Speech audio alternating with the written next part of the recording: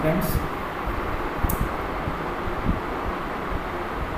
Indian factories act 1948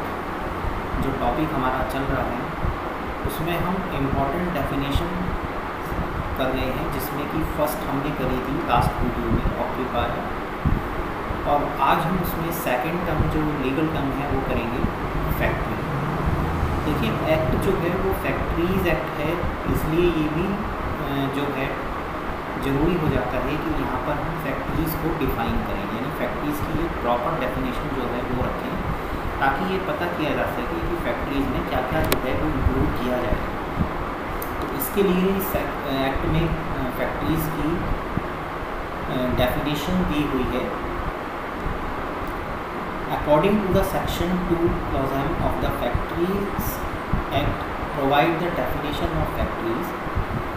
factories includes any premises. Premises including the presence thereof. यानी factories में factory premises और उसके आसपास की जो भी जो है, उससे रिलेटेड जो है यूनिट होगी, वो जो है इसमें आती है। तो इसमें जो है फ़र्स्ट पॉइंट है where on ten or more workers are working or were working on, on any day of the preceding 12 months and in any part of which a manufacturing process is being carried on with the aid of power or is ordinary so carried on यानी 10 या उससे ज़्यादा worker जो हैं अगर किसी working days में किसी भी प्रेसिडिंग ट्वेल्व मंथ में जो है फैक्ट्री में या उस इंडस्ट्री में या उस जगह काम किया है किसी मैन्युफैक्चरिंग प्रोसेस में with the aid of power यानी किसी पावर से चलने वाली मशीनरी या यूनिट्स के थ्रू तो वो जो यूनिट होगी या वो जो जो है मैन्युफैक्चरिंग यूनिट होगी, वो जो है फैक्ट्री में काउंट की जाएगी। Where on twenty or more workers are working or were working on a day of the preceding 12 months and in a part of which a manufacturing process is carried on without the aid of power, or is ordinary,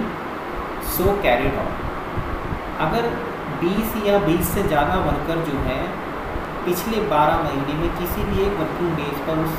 unit में जो है काम करते हैं without the aid of power यानी बिना किसी power की हेल्प लिए तो वहाँ पर जो है उस यूनिट को फैक्ट्री में काउंट किया जाए। इसके बाद थर्ड इसमें जो टर्म आती है, वो है वर्कर देखिए फैक्ट्रीज़ में जो मशीनों पर काम करते हैं, जो प्रोडक्शन करने का काम करते हैं, वो होते हैं वर्कर जो कि प्रोडक्शन का या फैक्ट्री का सबसे इम्पोर्टेंट पार्ट होता है। तो वर्कर्स में भी उनकी प्रॉपर एक डेफिनेशन जो है इस एक्ट में प्रोवाइड की गई है, जो कि है। According to section two clause I of a act a worker means a person employ directly or by or through any agency including a contractor with or without the knowledge of the principal employer whether or for remuneration or not in any manufacturing process or in cleaning any part of the machinery or premises use for in manufacturing process or in any other kind of working incidental to or connected with the manufacturing process or the subject of the manufacturing process but does not include any member of the armed forces of the union देखिए, worker की proper definition जो है वो दी गई है, क्योंकि ये legal terms होती हैं कब को लेकर के इनमें कोई भी लूट होल निकाल कर कोई फैक्ट्री ऑनर इनका फ़ायदा ना उठा ले इसलिए इसमें सारी चीज़ें इंक्लूड की जाती हैं। इसलिए कई बार लगता है कि डेफिनेशन बहुत बड़ी हो गई है, इसमें काफ़ी सारी चीज़ें जो हैं वो उलझा दी गई हैं, लेकिन ऐसा नहीं होता है। लीगल डेफिनेशन इसलिए जो है, रखी जाती है ताकि कोई भी जो है, उनके लूप होल्स को निकाल कर उनसे फ़ायदा ना उठा सके। तो वर्कर्स में यहाँ एक प्रॉपरली जो डेफिनेशन दी हुई है, उसमें वो सारी जो प्रोसेस है, या सारे वो जो काम हैं जो वर्कर्स से कराए जाते हैं, वो इंक्लूड किए गए हैं ताकि जो है, उन सब कामों को करने वाले जो हैं, वो सब वर्कर की कैटेगरी में माने जाएँ। तो यहाँ पर वर्कर्स में जो है उन्होंने कहा है कि डायरेक्टली और by through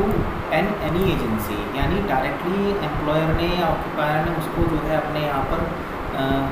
जो है अपॉइंट किया हो एज ए वर्कर या उसने किसी एजेंसी के थ्रू जो है इनको अपॉइंट किया हो। दोनों ही कंडीशन में वो वर्कर ही माना जाएगा। ऐसा नहीं कह के कोई फैक्ट्री ओनर बच सकता है कि मैंने तो जो है ये वर्कर जो है हायर किए थे किसी कॉन्ट्रैक्टर के थ्रू तो वो कॉन्ट्रैक्टर ही उन सब मामलों को देखेगा। ऐसा नहीं हो सकता। जो वर्कर आपने कॉन्ट्रैक्टर के थ्रू भी हायर किए वो भी आपके यहाँ एम्प्लॉय माने जाएँगे। इसके साथ साथ कोई भी पार्ट जो है, जो मशीनरी का मशीनरी प्रोसेस का या प्रोमाइसिस में जो है मशीनरी क्लीनिंग से रिलेटेड जो है कोई काम कराया जाता हो किसी वर्कर से या एनी अदर का incidental to connected with the manufacturing process किसी भी मशीनरी से आपने उसको इन्वॉल्व कर रखा हो, किसी मशीनरी को देखता हो, उस पर काम करता हो, और किसी भी तरह की आपने मैन्युफैक्चरिंग यूनिट में उसे जो है कोई काम दिया हुआ है, सभी आपके जो है वर्कर माने जाएँगे। साथ साथ इसमें एक चीज़ और है कि any member of the arm forces of the Union ये जो है वर्कर्स में नहीं आते ये वर्कर्स नहीं माने जाते। तो जितने भी हमारी सेना या पुलिस के जो लोग होते हैं, वो सब जो है वर्कर्स नहीं माने जाएँगे, वो इसमें नहीं आते। उनको वर्कर नहीं माना गया इसके बाद नेक्स्ट टर्म आती है इसमें manufacturing process According to section 2 clause A, manufacturing process means any process for देखिए यहाँ पर मैन्युफैक्चरिंग प्रोसेस को डिफाइन किया गया है कि मैन्युफैक्चरिंग प्रोसेस जो है वो क्या मानी जाएगी। कौन सी ऐसी यूनिट होगी जिसे हम मैन्युफैक्चरिंग प्रोसेस या फैक्ट्री मानेंगे? Making altering repairing ornamenting finishing packing oiling washing cleaning breaking up demolishing and other fitting और adopting any article or substance with the view of its use, sale, transport, delivery or display. ये जितने भी मैंने आपको work बताए हैं इन सबसे related कोई भी जो है काम हो रहा हो use sales delivery disposal delivery कहीं भी किसी भी यूनिट में तो वो एक मैन्युफैक्चरिंग प्रोसेस जो है वो मानी जाएगी सेकंड है पंपिंग ऑयल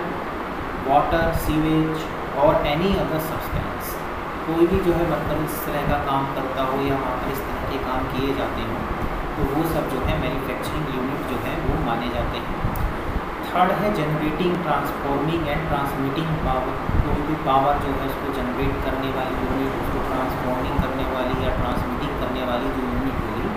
वो भी एक मैन्युफैक्चरिंग यूनिट ही कंसिडर की जाएगी। फोर्थ है composing type of printing printing by the letter press lithography और एनी अदर सिमिलर प्रोसेस और book binding printing machinery printing काम मशीनरी पर काम करने वाले जो लोग हैं, उनसे रिलेटेड जो वर्क है, वो सभी जो हैं जो बुक माइनिंग है और जितनी भी प्रिंटिंग से रिलेटेड सारी प्रोसेस हैं, वो सभी यूनिट्स में काम करने वाली जो units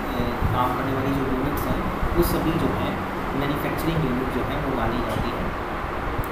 Constructing reconstructing repairing refitting finishing और ब्रेकिंग अप शिप्स ऑफ़ वैसे कोई भी शिप या वैसे से रिलेटेड जो है कंस्ट्रक्शन करना रिकन्स्ट्रक्शन करना रिपेयरिंग करना, उनकी रीफिटिंग करना फिनिशिंग करना या ब्रेकिंग करना या उनको तोड़ना, बनाना रिकन्स्ट्रक्शन करना रिपेयर करना एक्स्ट्रा जो भी एक्सेट्रा जो भी इसमें वर्किंग जो है उनसे रिलेटेड की जा रही है, कहीं पर भी, किसी भी यूनिट में, वो सब जो है एक मैन्युफैक्चरिंग यूनिट जो है वो कंसिडर की जाती है। और लास्ट है इसमें प्रिजर्विंग और storing any article in cold storage कोई भी जो है कोल्ड स्टोरेज जो होता है, जहाँ पर जो है चीज़ों को रखा जाता है ख़राब होने से बचाने के लिए लंबे टाइम तक प्रिजर्व करके रखा जाता है। इस तरह की जो यूनिट्स होती हैं, वो कोल्ड स्टोरेज कहलाते हैं। और कोल्ड स्टोरेज में प्रिजर्व करना स्टोर करके रखना, कहीं भी कोई भी आर्टिकल को तो वो जो कोल्ड स्टोरेज होगा, वो भी एक मैन्युफैक्चरिंग यूनिट ही मानी जाएगी। उसको भी मैन्युफैक्चरिंग यूनिट की तरह ही कंसीडर किया जाएगा। फैक्ट्रीज़ एक्ट 1948 में। तो इस तरह से जो ये सिक्स पॉइंट आपको दिए गए हैं, ये सिक्स पॉइंट में जितने भी वर्किंग आप बताई गई हैं, इनसे रिलेटेड अगर कोई भी काम होता है, कोई भी काम किया जा रहा है किसी भी यूनिट में, वो एक मैन्युफैक्चरिंग यूनिट की तरह ही कंसीडर की जाती है।